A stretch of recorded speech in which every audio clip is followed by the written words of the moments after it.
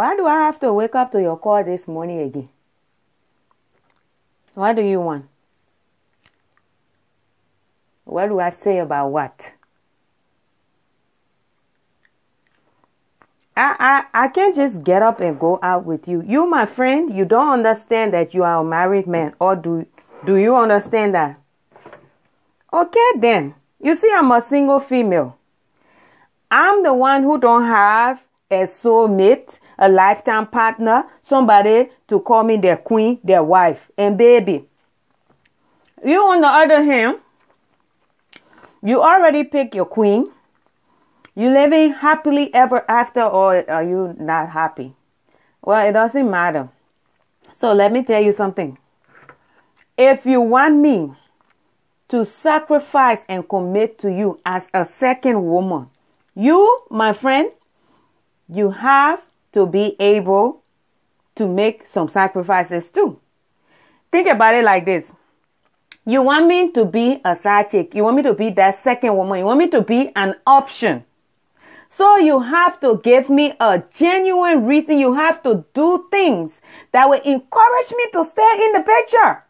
That will make me happy enough to want to put up with you calling somebody else your wife, your baby, your lifetime partner, your sugar pie, your peach, your icing, icing on the cake, your your soulmate, your completion, whatever you want to call it. Okay, I'm glad you want to hear what you need to do to make me to want to commit to you. Because at the end of the day, as long as you're in the picture, I will never be able to grab my own uh, Prince Charming. If you want me to be in this picture, let me tell you something. Number one, you have to get me the latest, the latest Range Rover. You have to get me the latest Range Rover. You want me to make your dream come true. Abby, you have to make my dream come true too. Get me the latest Range Rover. I want it to be black with black rims and everything. Okay? The biggest rims you could put on it, put it on it. Chrome, let it be shiny. Also, I want you to get me a nice condo. Okay? Get me a nice condo.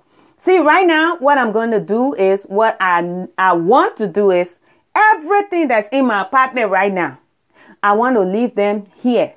I want you to upgrade me from every angle. That means from my dishes to my lotion to my pennies to my bras to my to my furniture, everything, my body wash, my cook spoon, my fork, my couch, my TV. I want everything to be upgraded. You want me to commit to being an option. Just give me a nice condo with a Range Rover. Every furniture I want, I want you to pay for it. Let it be in there. I want all my furniture, my bed covers and stuff like that to come from Macy's. Oh Lord, I love Macy's. I, I just just buy my furniture from Macy's. Okay? And please, you have to add me to your plan. Because if I'm going to be talking to you, you have to be paying for me to talk to you. I can't go be paying phone bill to be talking to you, married man.